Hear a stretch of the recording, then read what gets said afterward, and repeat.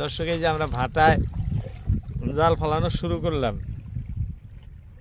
দেখেন এগুলো আমাদের সব মাল্লা ভাই হ্যাঁ? যে কেউ কেউ ভাত খাইতেছে, কেউ খরা মারতেছে, কেউ মিঠা মিঠা করে হাসতেছে, কেউ গালে হাত দিয়ে বসে হয়েছে মাছ কম পাইছে। আমরা এই যে জাল ছাড়া আরম্ভ করলাম। এটা আমাদের পুরানা হাওয়ালদার হ্যাঁ? সবচেয়ে বড়। দেখেন এই যে দাড়ি টাড়ি পাকছে সেম আমার মতোই। আমার মতোই, প্রায় দাড়ি পাকা। কুয়াশা আছে কিন্তু খুবই কম।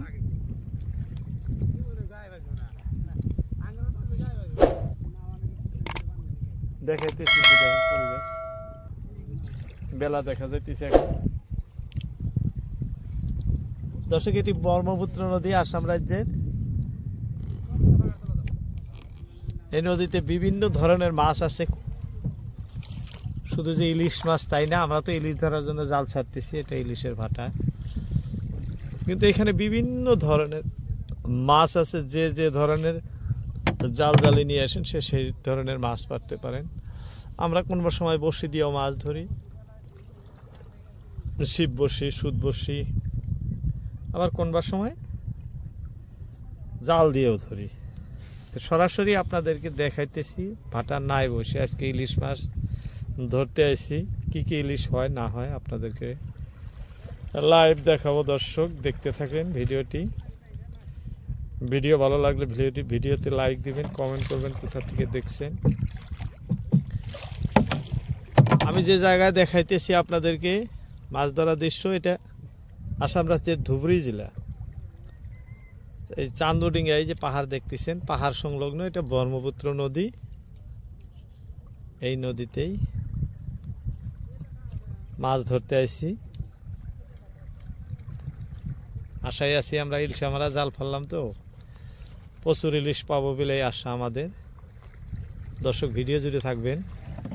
এই স্রোতের মধ্যেই আমরা ভাটা ধরলাম। এখানেই স্রোত যত বেশি হয়, তত ইলিশ মাছ বেশি হয়।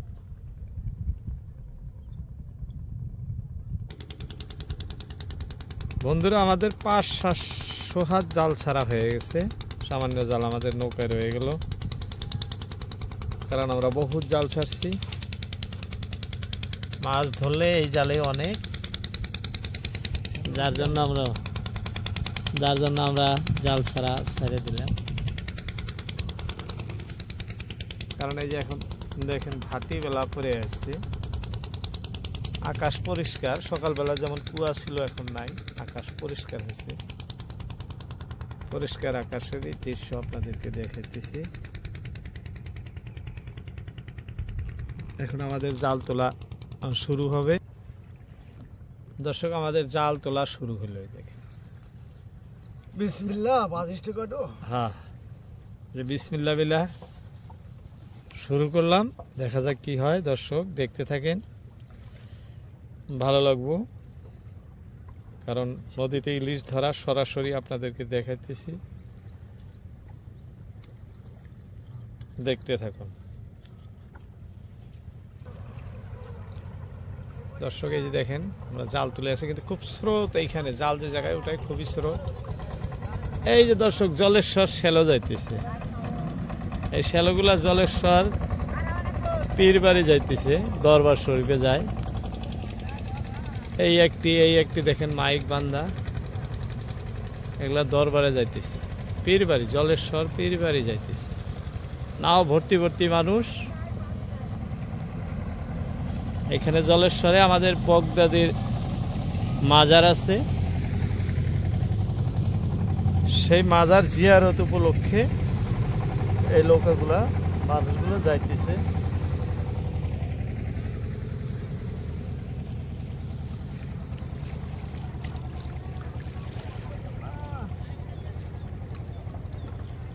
নদীতে খুব ঢেউ দেখেন খুব ঢেউ। যেমনি স্রোত তেমনি ঢেউ। এর মধ্যেই যে ভাই জাল তুলতেছেন মাছ তুলতেছেন। খুব কষ্ট হয়েছে একা একা জাল তোলা। একা একাই জাল ফেলায় একা একাই তোলে।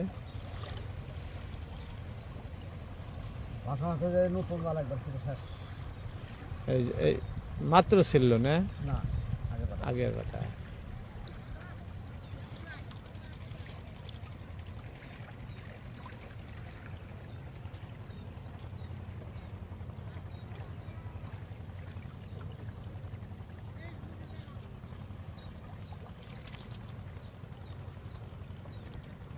পানির খুব পাক খুব শব্দ মাছ কি দিলে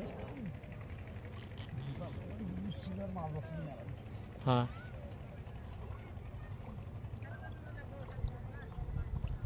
না, এক এক করে আঙ্গুর বাজে থাকব।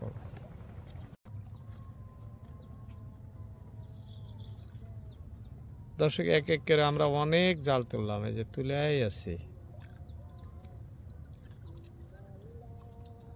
দেখেন, এখন কিন্তু নদীর স্রোত খুব কম, এই যে দেখাইতেছি। এখনও তো বেশি নাই।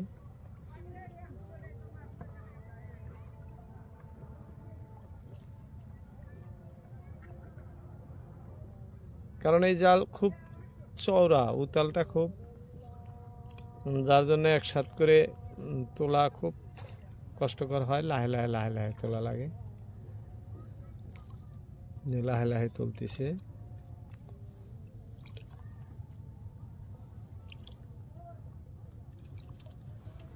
মাছ বাজবে না গো আর একটু বাড়াই এই যে। কামাই গেছে না? আমাদের এই ভাটায় কিন্তু মাছ লাগে নাই। দর্শক অনেক টাইম দেখলাম এখন অবধি আমাদের কোনো মাছ এই যে দেখাই হয় নাই। এই যে দেখেন মাছ আপনাদেরকে দেখাইতেছি। এটা ভাইজান আগে এক ভাটা দিছিল দুই ভাটা। মাছ তো ভাগ্যের কথা সব ভাটায় বাজে না। ওই ভাটায় কিন্তু এই মাছগুলো পাইছিলেন। হ্যাঁ কিন্তু এই ভাটায় ভাইয়ের মাছ হয় নাই। এই যে অনেক কয়টা পাইছিল? খুব ভালো ইলশা দেখেন এই যে দেখাইতেছি। হুম বড় বড় ইলশা কিন্তু আমরা যে এখন ভাটা দিলাম এই ভাটায় মাছ হলো না।